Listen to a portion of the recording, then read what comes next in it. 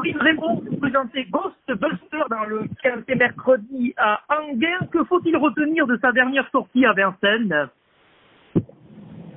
Euh, bah, pour rien retenir, on l'a couru trop rapproché, on a fait une bêtise.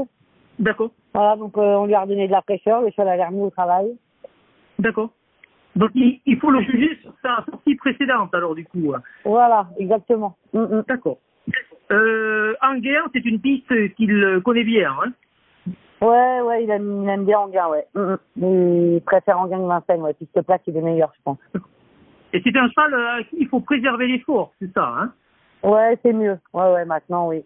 Il a gagné devant, mais maintenant, c'est mieux de le courir, euh, de le courir derrière. Le- L'engagement est plutôt favorable, non? Oui, c'est une belle course, hein. Ouais, ouais, Mm. c'est... Mm. Il sera déféré des cartes comme d'habitude? Euh, Peut-être pas derrière. C'est pas encore.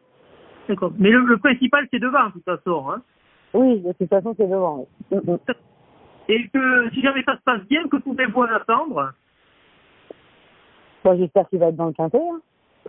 Le cheval Voilà. a l'air bien. S'il a la bonne course, euh, il, devrait être, euh, il devrait être dans le quintet.